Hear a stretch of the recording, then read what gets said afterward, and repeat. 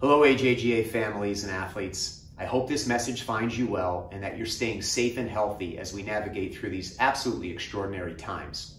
My name is David Abeles. I work here at TaylorMade Golf. In fact, I am shooting this video behind a camera in my office at our world headquarters in Carlsbad, California. That's right. The keys are back in the door, and we are slowly and safely having our terrific people from our company come back into the office and restart the engine. One of the things we're really excited about as we restart is our continued national sponsorship and partnership with the American Junior Golf Association.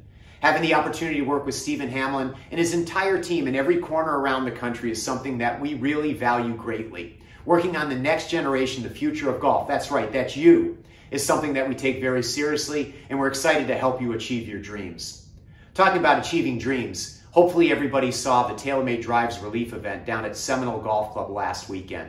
It was terrific. In fact, three of those superstars were former AJGA players just like yourself. So if you want to dream, you should dream big. We're excited about the future of golf. Golf courses are opening around the country. Uh, rounds of play continue to grow. That's all wonderful. The PGA and LPGA tours will be back in action as early as this June, so that's exciting. And how about a major championship season that'll start a little bit later this summer and work into the fall? Think about an extended golf season for us all. Very, very exciting. The other thing we're excited about is to continue to provide you as much equipment and golf ball as you need as you restart playing competitively.